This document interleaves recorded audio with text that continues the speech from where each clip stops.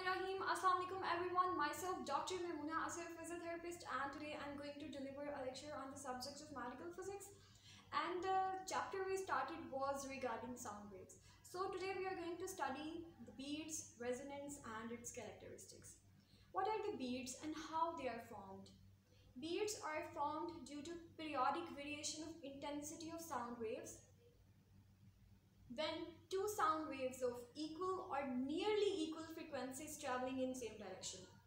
So uh, the thing is like when two waves having same frequency or nearly same frequency are traveling in same direction in the same medium it would be forming a kind of the sound that would be known as beats. And these are formed in the periodic variation of intensity.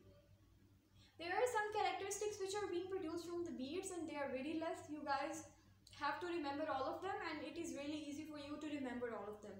Beats is a phenomena associated with the sound waves through the effects applies to all the waves and in case of beat, phase difference between two waves at a point changes with time.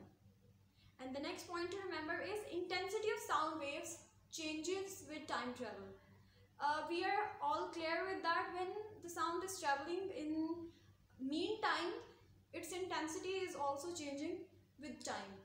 And the frequency of the resultant wave if we want to identify the resultant wave frequency it would be identical to any of the wave which is producing the beat so the two waves which were going in the same direction and having one frequency the resultant frequency would be same like that frequency.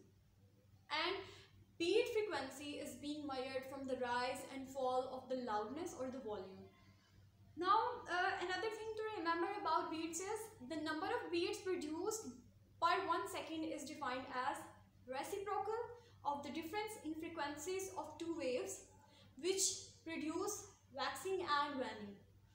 So, uh, this is assignment for you today that you are going to give the definition for number of beats produced per one second. What is that? You have to explain in the comments what is meant by that thing and you guys will explain this thing. Um, and the next thing which we are going to study is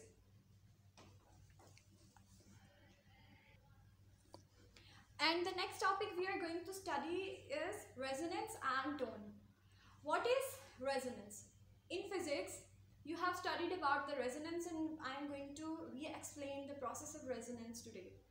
Resonance describes the phenomena of increased amplitude that occurs when the frequency of periodically applied force is equal or close to a natural frequency of the system.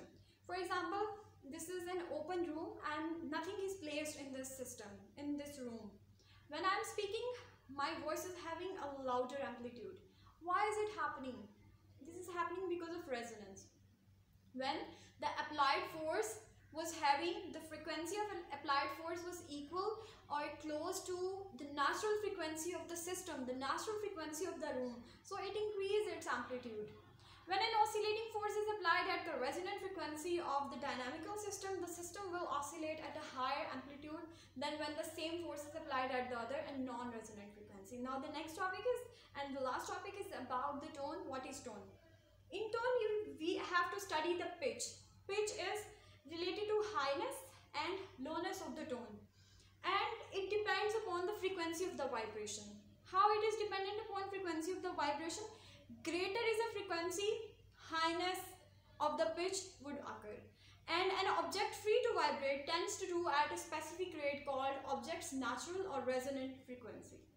So this was all about today's lecture. I hope you guys understand the lecture completely and if you guys have any query or any questions you guys can ask me directly or comment in uh, the comment section. I will try to answer all of, all of the questions. Thank you so much.